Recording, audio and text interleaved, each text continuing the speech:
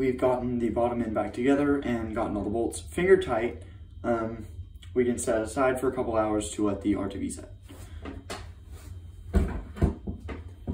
While it sets, um, we're gonna use a ball hone to um, smooth out some minor scoring in the cylinder. Um, this is the rear cylinder.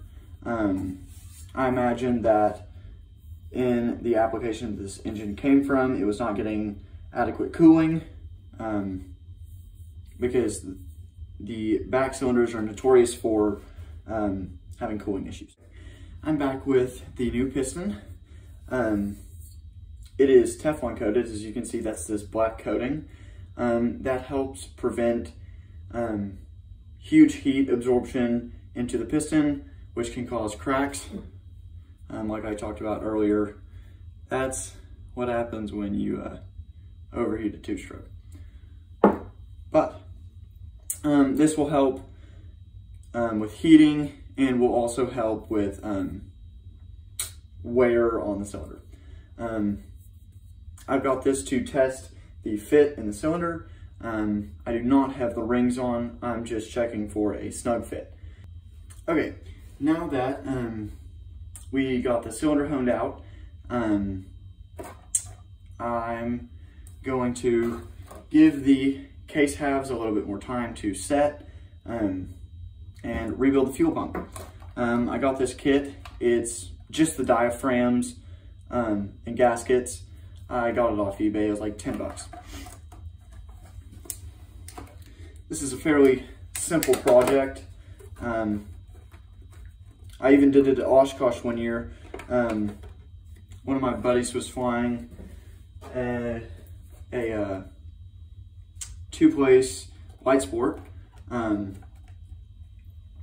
and he was running a 582 with a Mikuni diaphragm pump. And we were up in the pattern um, down on the ultralight end and it started sputtering. Um, we did manage to get it back to the field. Um, and upon further inspection, the fuel pump diaphragm had just dry rotted because it had been sitting too long. Um, so not gonna take any chances. Gonna put new diaphragms and gaskets in my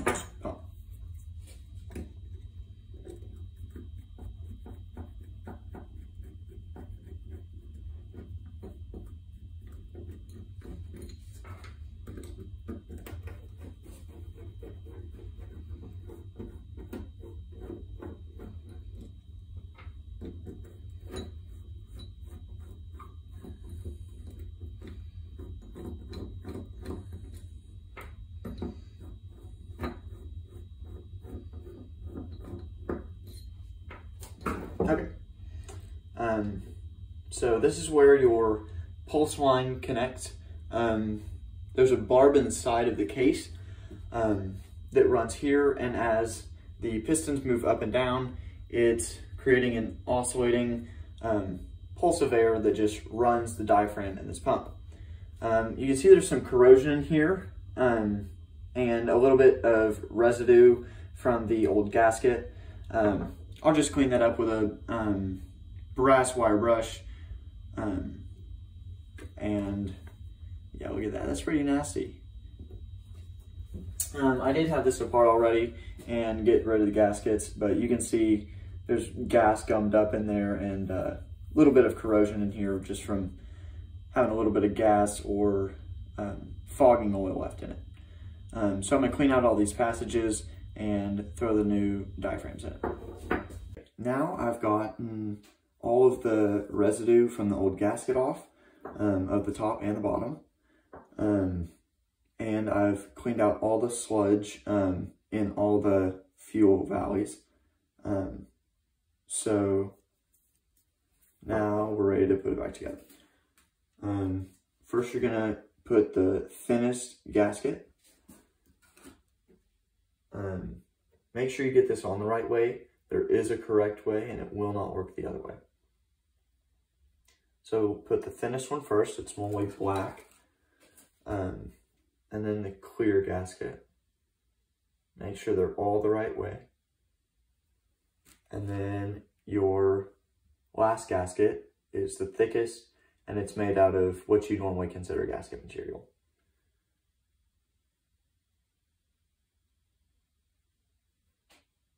See, that's the wrong way.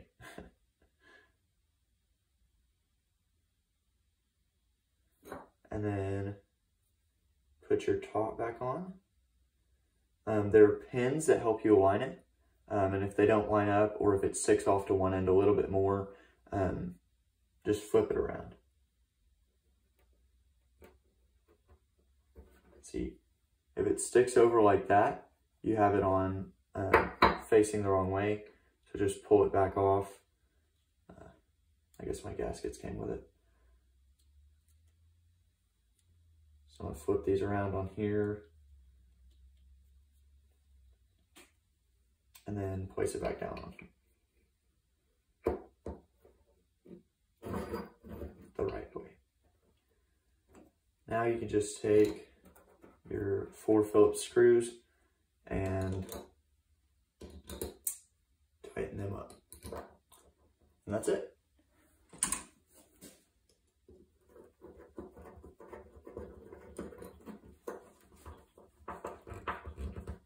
You just want them snug. You don't want to tighten them down too much because um, you can strip the aluminum out in the pump housing.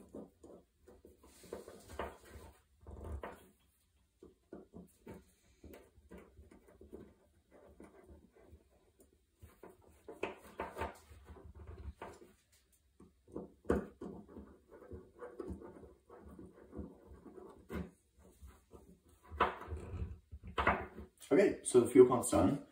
Um,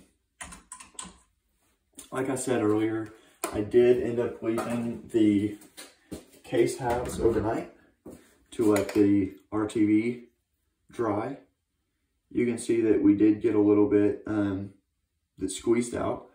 Um, that's what you want. You don't want, you want to have enough that it will squeeze out. And that's easy to fix up. You can cut it off with a razor blade or um, just peel it off. Now, um, we're ready to put the front and rear seals in. Um, those also came in your gasket set.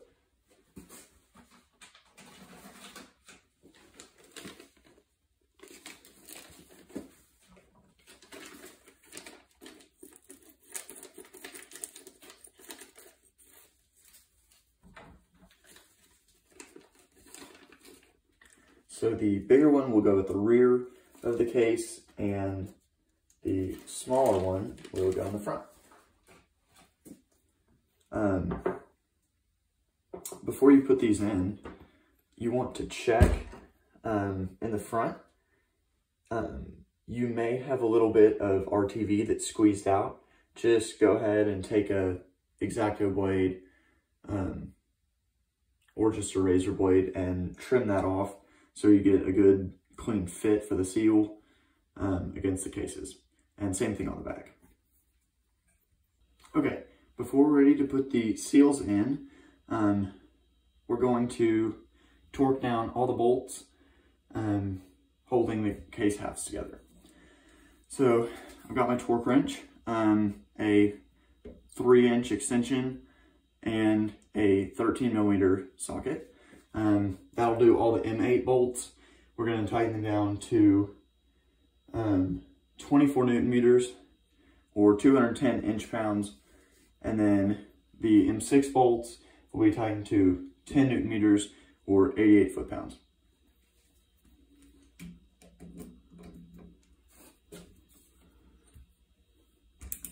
It helps if you lay the case sideways um, so that you're pushing against the leverage that it has. There we go.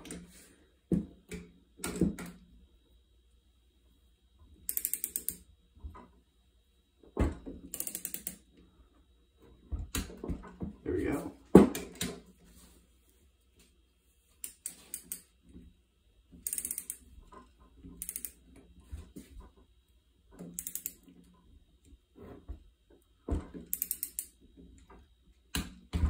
There it is.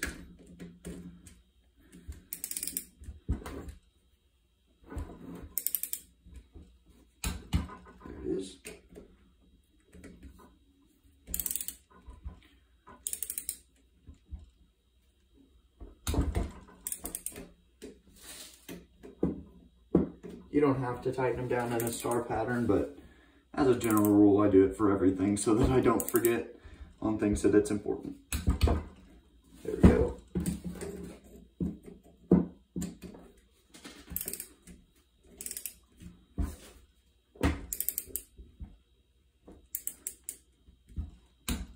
There it is. Last one.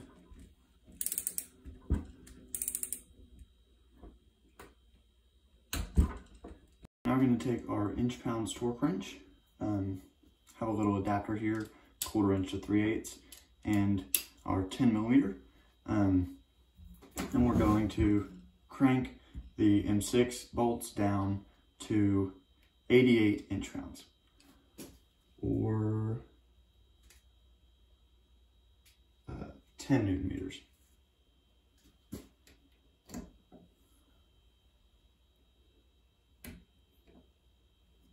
My wrench only goes up to nine um, newton meters. So I'm going to tighten it to nine and then do a little bit more to where I guess that 10 might be. It's not critical, but it's good for them to be tight.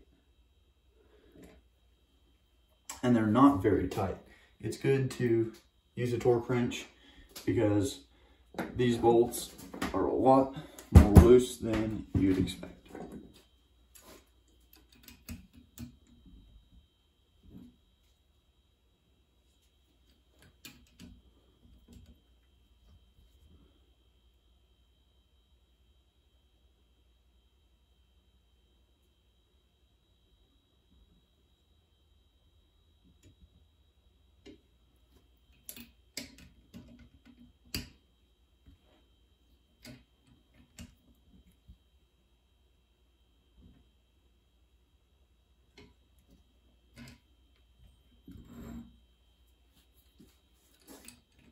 Last one.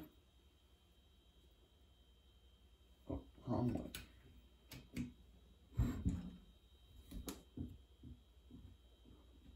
All the way up to nine and a little bit past.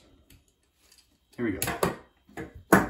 So again, the M8 or the bigger bolts will be tightened down to 24 newton meters and the smaller ones down to 10. Um, now I can put our seals in and begin to put the ignition in.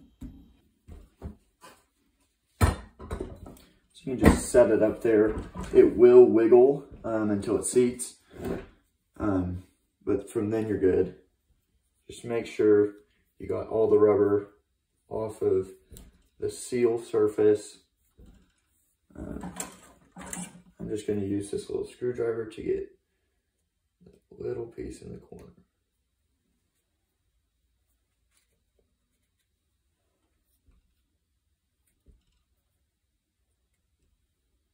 Make sure you don't get it dropped down in that bearing. Okay, um, I'm going to take a little bit of motor oil and put it along the inside of the case um, and on the outside of the crankshaft just to keep the seal um, lubed up until we run it for the first time.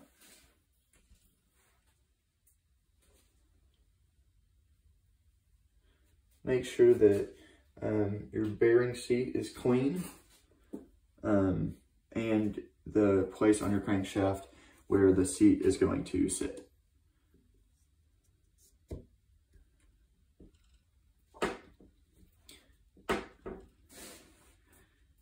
It will be a tight fit. Um, so you can take a big sprocket and place it over the outside um, and tap it down. Or if you're gentle, can just do small taps around the outside until it's fully seated.